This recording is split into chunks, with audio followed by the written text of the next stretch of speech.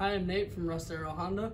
Obviously, with the winter months coming up, I'm going to tell you certain things that you can do that are just going to help better you and prepare you for the cold weather. Starting with your gas tank, you're going to want to keep your gas at least half full, if not more, to help prevent your gas from freezing, because that would be super unfortunate.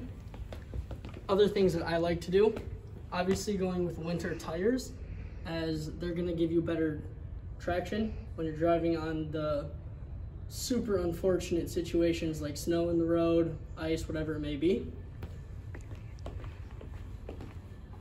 I would highly recommend keeping your wiper fluid full at all times because obviously if you get one that has certain chemicals in it, not only can you help prevent icing over your windshield, but if there is icing when you turn your car in the morning or anything like that, it is going to help it melt faster so that you're not late for work or anything like that. Mm-hmm.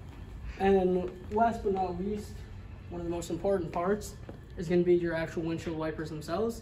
If they're worn out, I would recommend getting new ones. Even if they're not super worn, I would still recommend getting new ones.